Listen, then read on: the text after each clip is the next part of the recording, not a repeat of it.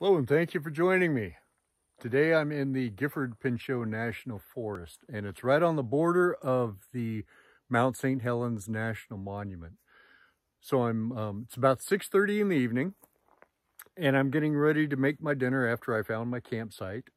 And I'm gonna get up early in the morning and catch sunrise up on Windy Ridge. So Windy Ridge is uh, the end of the end of Road 99 going into the National Monument, and it's a little over 4,100 feet, and should be spectacular views. So I want to be up there for sunrise, and hopefully things work out for me with some rosy glow on the hillsides. You can see Rainier and Hood from up in that area too, but I've never actually been on Windy Ridge, so let's do some exploring together. All right, so it's supper time.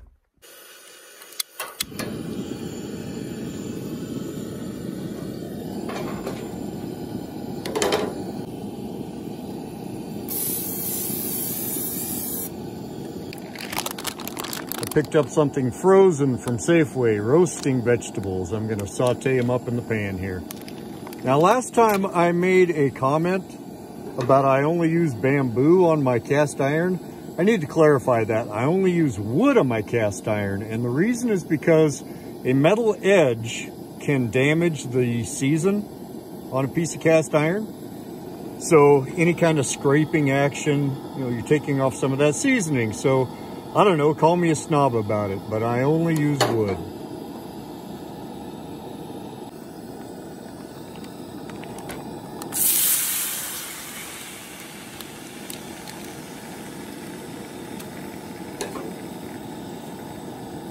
A little more liquid than I expected in there. It's been sitting in my cooler and it thawed out. It came out of the frozen aisle. So we'll see. I'm sure I can burn a lot of that off.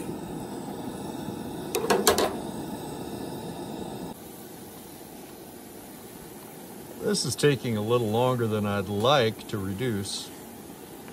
So I'm gonna have to throw a general purpose thickener like couscous into my food container. A little box of couscous wouldn't take up much space and it'd sure solve problems like this. Anyway, I put a little salt, pepper, garlic powder down. And this should do a pretty good job of filling my empty spot, but I also have some chips and hummus that I think I'll probably dip into. Ha! Hummus dip. Ha ha! I'm quite the jokester. There you go. The liquids have reduced. And I'm hoping that the vegetables didn't get too soggy while they were in there, but we'll find out.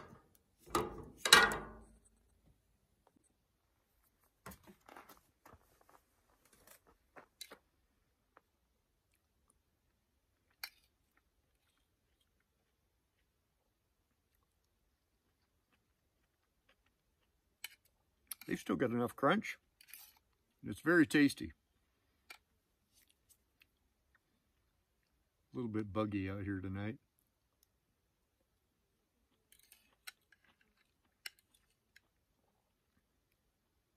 So there's chunks of sweet potato, cauliflower, broccoli, and onion.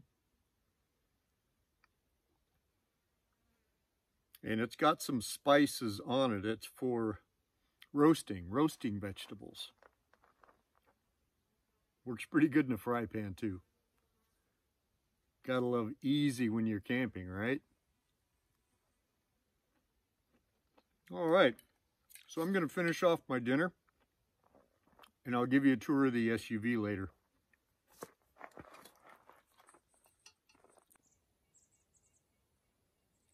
When I clean my cast iron skillet after I'm done, I use a little Dr. Bronner's, usually just a rag, but I do have this scraper here in case there's any bits and bits and pieces left over that I've got to get rid of. And then put a fresh coat of olive oil onto it. Wipe that around with a rag. There you go. We're ready for next time.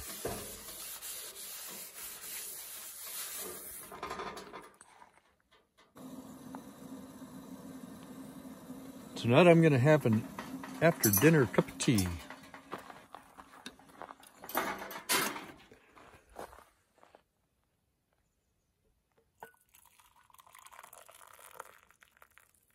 All right. Sit around here, eat some dried prunes, have a little tea. I'm also, since I'm going to be getting up very early in the dark, um, I'm not going to make coffee in the morning. So I'm, I've got one of these Starbuck Via, the French roast. And I'm going to put it into a kombucha bottle that I was using today. There you go. And I'll have this waiting for me in the car for my morning drive. You say roughly about 20 miles. That should take care of me and then I'll make a cup of coffee later on. All right then, so everything is cleaned up, packed up, and I want to show you just what I've got going on here. So I've got a few things on top. I've got my chair and my um, little folding patio table up there. And those are bungeed in, easy access. The other things, the rug, the ARB room, and there is an additional kind of shower bathroom structure. Those are along for glamping just in case I get the urge. They'll probably just stay tied to the rack because it's so much easier just to sleep in the car. Anyway, let's take a look. So the bed is set up. Now, I don't know that I've shown you this before, but I've got, I had a 75 inch wide mattress topper, and that's maybe an inch, inch and a half tall, something like that. So I cut it into three 25 inch sections and stack them, and that makes a pretty comfortable mattress. I've got a fleece on top of the foam. I've got the sleeping bag unzipped. I don't like the confined feeling of a sleeping bag, so I tend to sleep with it loose. And then the army blanket over the top. And you know, this army blanket and me go way back. It seems like I was born with it. I've had it so long, I have no idea where it all came from. But, you know, something like that was on my cot when I was in the Marines. So the water source, I have a two gallon jug, easy access. I refill it with the seven gallon jug. This back here is my one and a half gallon sprayer that I use for taking showers and generally washing off when I get the opportunity. Otherwise, I just stink. My camp stove is tucked in back there. There's a couple of tarps um, just in case, and also I put them underneath the ARB room. And tucked down into the tarps, there's a small axe and my uh, little uh, shovel that I use for digging cat holes and whatnot. This is a container full of food stuff. This is my collapsible basin that I use for the kitchen and general washing up. Uh, my coffee pot. This is, of course, my kitchen bag. Has all of the um, has my skillet and all the utensils and spices and paper towels and olive oil and all of that in the middle section.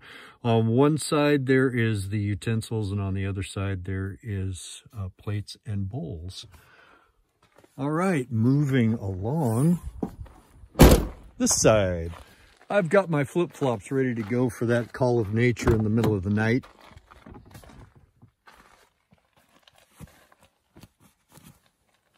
My pillow from home. I always bring my pillow from home. I love my pillow.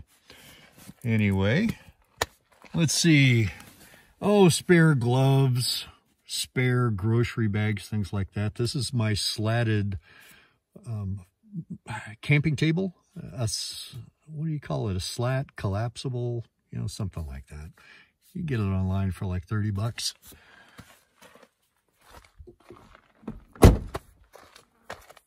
All right, passenger seat. Keep my clothes bag. sweater and vest loose and ready to be grabbed. These are the cushions for my lawn chair, some extra towels, washcloths, things like that. And down here, I've got the, uh, you know, stuff for glamping, you know, that just in case stuff. There's a full-size inflatable mattress, um, jersey sheets. I love the, the soft cotton. Oh, yeah. And then tucked back down in there, there's a, uh, oh, God, there's a, you know, one of those pumps. Yeah, there you go. All right, here we go, around the other side. There's my Luci light. Always keep it in the dashboard charging. All right, let's start back here. Easy access to the cooler. Down here, more grocery bags, miscellaneous. I use a lot of those plastic grocery bags for garbage bags, of course. And here's some extra food. And I'll just keep that. How about this? I do like to keep the driver's seat open just in case. And the key's handy. If you need to make a quick getaway, you don't want anything in your seat and you want your keys handy. All right, so there's my instant coffee for the morning. There's my reading material for the night. And there you have it. That's the tour.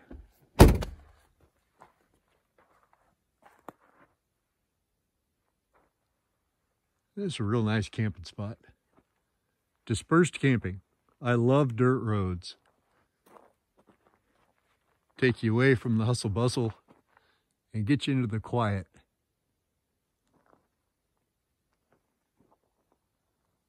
Hope those clouds pass over and aren't bothering me in the morning.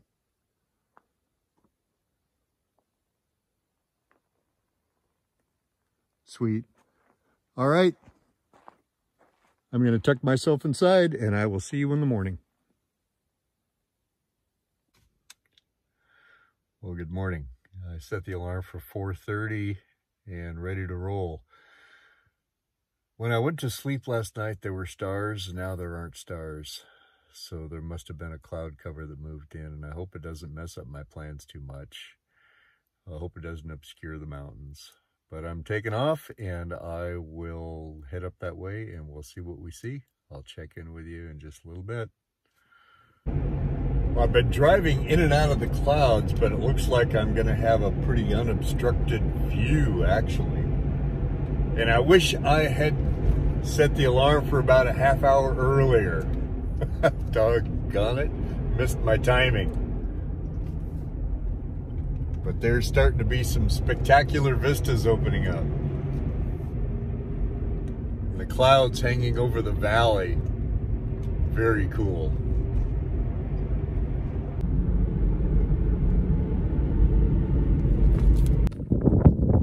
This is a Smith Creek viewpoint. There's Mount St. Helens. There's the clouds that I've driven out of. Way off in the distance there, let's see if I can zoom in on that. That's Hood right there. And over toward the east where the sun's coming up, that's Adams. Made it over to Windy Ridge and it turned out that Smith Creek is actually a better view. So I'm hanging out inside. It's very windy out there and cold. windy Ridge, go figure. So just waiting to see if the rising sun will paint the mountains. I sure hope it does. Fingers crossed.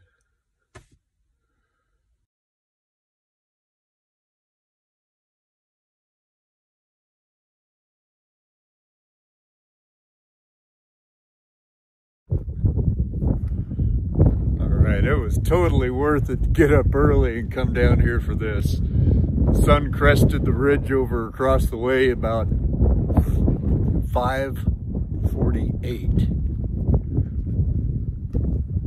But I was looking at something cool going on down here. Sorry for the wind noise. I'm going to take a time lapse of this cloud fall that's going on over here.